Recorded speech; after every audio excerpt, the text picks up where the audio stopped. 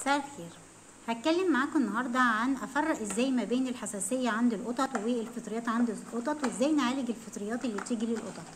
آه، الحساسية هنلاقيها عبارة عن بقع لونها أحمر القط عمال يهرش فيها وما بتكبرش بتفضل زي ما هي ثابتة في الحجم بتاعها. وبالنسبة للفطريات هنلاقيها عبارة عن بقعة كل مدى بتكبر وبتحمر والقط بيقعد يهرش فيها جامد وتلاقيها اتوزعت في الجسم كله لدرجة إنها ممكن الشعر كله يقع من جسم القط كله وهتلاقيه شعره خف جدا وعملت قشرة لونها أبيض. إيه حتى تيجي تعملها بضوافرك كده هتلاقيها إن هي عبارة عن قشرة بيضة زي اللي بتبقى آه، في قشرة الراس عند الب... عندنا إحنا كبني آدمين يعني. إيه طيب إزاي نعالجها؟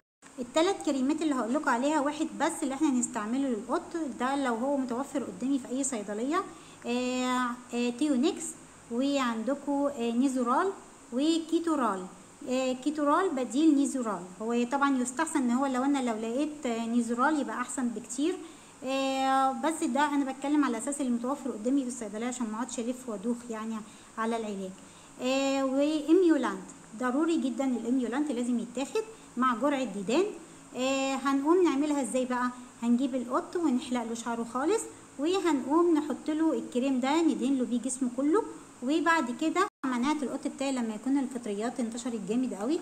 آه وحتى لو هي كمان حتى خفيفة برضو تترفع لازم مناعة القط. آه بالاميولانت اللي قلت لكم عليه.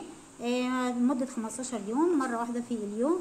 رب أكون فدتكم ويبعد عن أي قط عندنا بنربيه وبنحبه آه أي حاجة وحشة ويبعد عنهم الأمراض. ربنا معاكم. سلام.